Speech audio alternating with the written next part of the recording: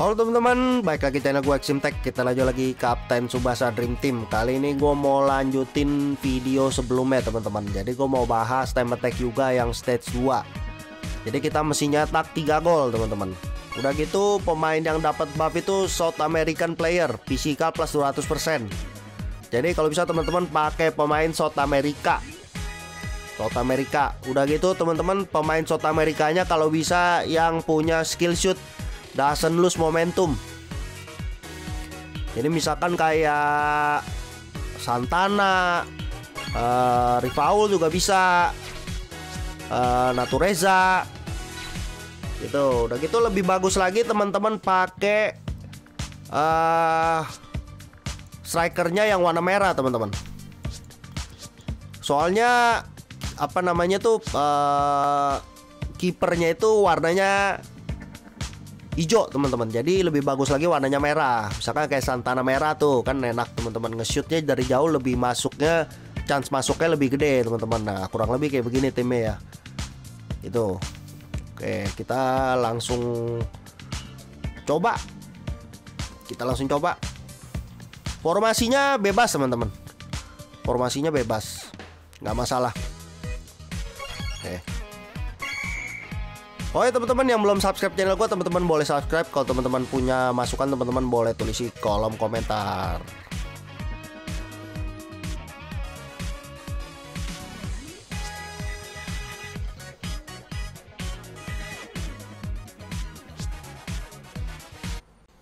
Oke, kita coba. Jadi kita langsung awal-awalnya kita langsung kasih ke pemain yang mau nge-shoot teman-teman. Misalkan gua nih gua mau nge-shoot pakai Santana.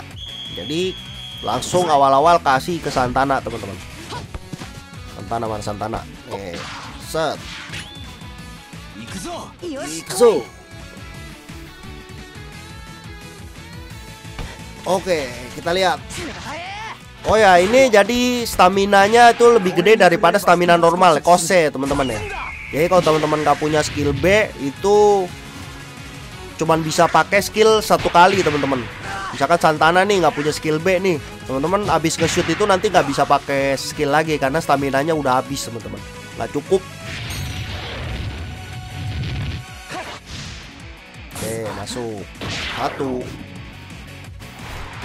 Ini masih nggak susah ya teman-teman ya. Masih nggak susah. Masih nggak susah. Jadi yang mulai susah tuh nanti stage 3 teman-teman. Nah nanti stage 3 nanti gue bahas di video selanjutnya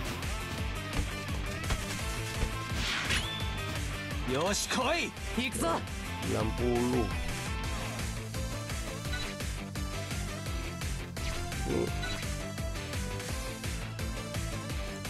えっとね。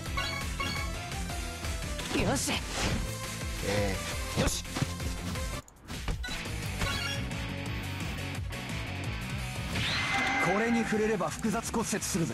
Oh ya, kalau teman-teman ini hoki, teman-teman bisa dapet di 14 menit ya, teman-teman ya. 14 menit.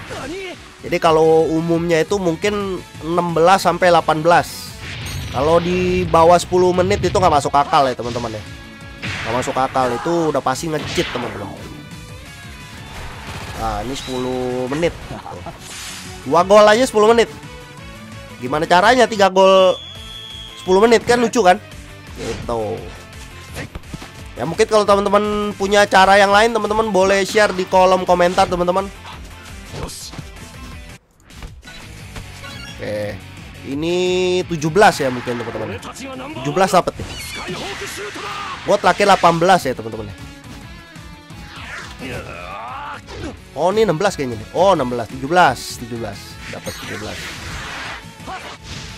Oke. Oh 17 Oke. Nggak susah kan ya teman-teman ya? Jadi ini masih belum susah. Ntar step 3 nanti gua lanjutin di video selanjutnya ya teman-teman ya. Oke kelar.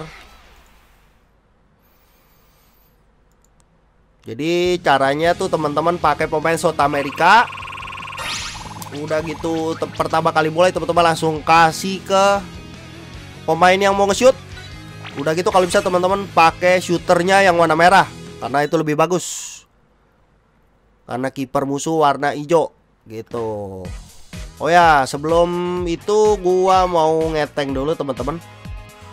Gua belum ngeteng hari ini. Belum buka. Oke. Oh ya, mungkin ada yang nanya gua nggak gacha nih yang ini, yang Misaki ini. Gua agak ragu ya teman-teman. Sebenarnya juga nggak terlalu kepake di tim gua ya teman-teman ya. Karena gue lebih butuh sebenarnya tim non Japan ya teman-teman. Karena gue lebih jadi tim non Japan gitu. Tapi ngeteng aja nggak apa-apa. Siapa tahu gue dapet.